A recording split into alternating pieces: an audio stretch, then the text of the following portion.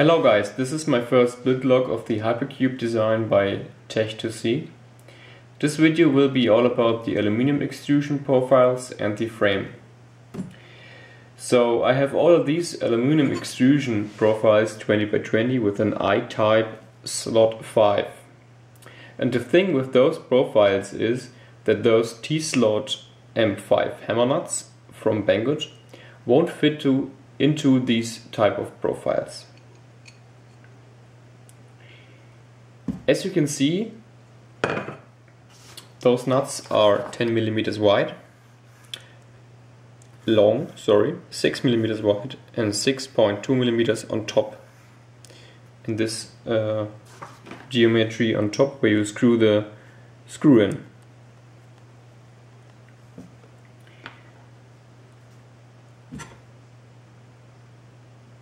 But then I ordered the slot 6 Bosch type from this shop from eBay.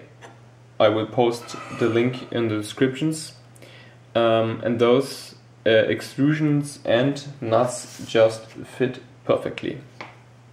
As you can see, the profile I ordered before had a 5mm spacing on top, so those nuts won't uh, fit into this profile.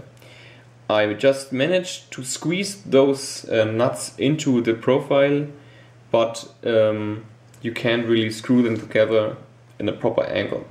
So the other profile with slot 6, on the drawing it said it's 6 millimeters wide, this slot on top, but when you actually measure it, you might not see this on my trusty caliper, but if you measure it, it's about 6.2 millimeters, which, as you can see, um, is just perfect for those nuts, and those nuts will even fit into the profile from the top.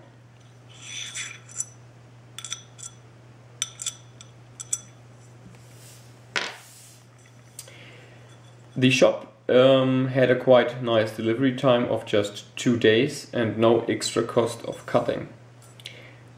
Concerning the cutting, you always have to pay some money as you can always um, only select pre-cut length of like 1 me meter, 1.4 meters and then you have to tell the shop what length you need and the rest of the meter uh, will be spare will be wasted and you have to pay it. But in my case, it was just some centimeters, so it was just some some euro cents. Um, it's okay, I think, because compared to the work you have uh, to cut it yourself, I would always order them pre-cut because the cut will be always better by the manufacturer, unless you have some guided saw, which I don't really have. Doing it by hand will not provide you with a clean result. I tried to make it myself and it was really hard to keep the right angle and I think if you don't cut it with a 90 degree angle your whole frame will be offset which is not really good. So this is just for your for information as I now have some profiles left over, which I can really use, only with other nuts and screws. Take care which extrusions you buy and check that they match the nuts and of course those screws. Everything should match together. Tech2C's instruction might be a little bit undetailed here because I think there are also different standards for those profiles even in different countries. I will now start with the assembly of the frame and I think I will be making a small time lapse of the process and just stop for little hints if I see that something goes wrong.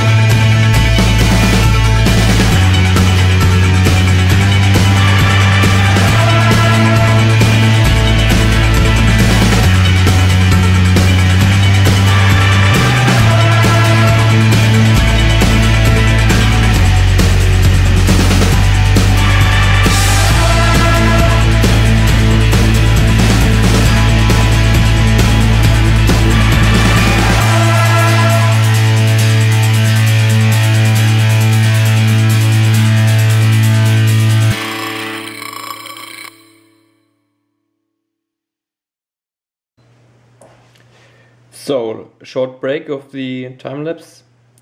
What I actually found here is uh, that the threading inside these T5, um, M5 hammer nuts wasn't good. First, I thought uh, I had some bad screws, but it's actually uh, the hammer nut. So, I ordered a quantity of 200 hammer nuts. Um, there seems to be little bit of a waste, some percentage. So, I will throw this one away.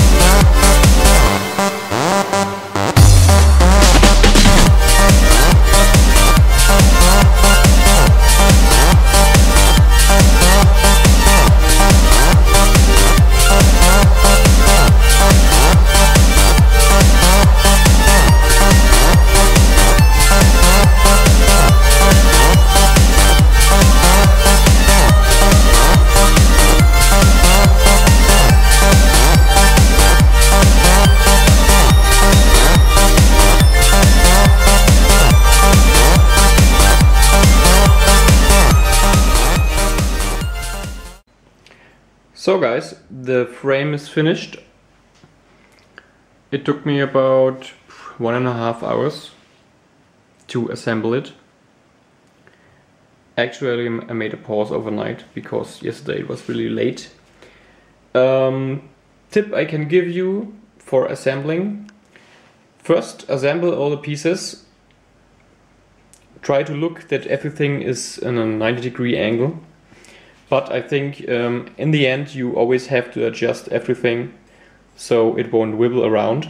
And I had about one millimeter here on the one side.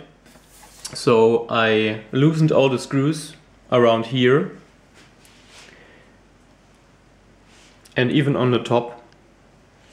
And then I tried to keep everything in a 90 degree angle. And as I mentioned before, it took me about half an hour to get everything in a nice angle so it won't wiggle. And now you can see nothing is moving, only the frame because it's really light. It's not really heavy, but I think with the power supply unit and with all the axes and the extruder and everything and the motors, this will be pretty rigid. So keep everything in an angle, don't lose your nerves